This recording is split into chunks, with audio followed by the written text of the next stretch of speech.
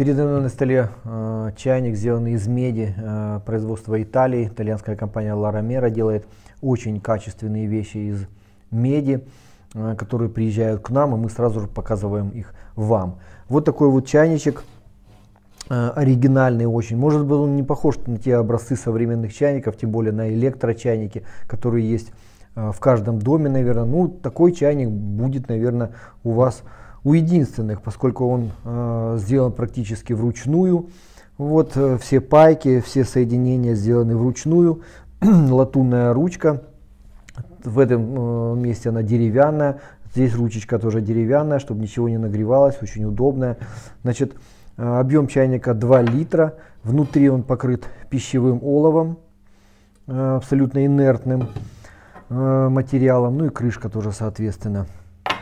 Э, быстро очень закипает. Э, что еще?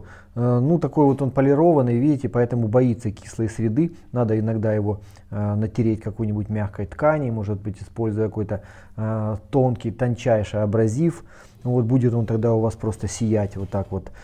Кроме того, ни в коем случае не оставлять его пустым на открытом огне или в состоянии нагревания, поскольку а, внутренний слой олова, он быстренько придет в негодность, оплавится и теми свойствами уже обладать чайник не будет.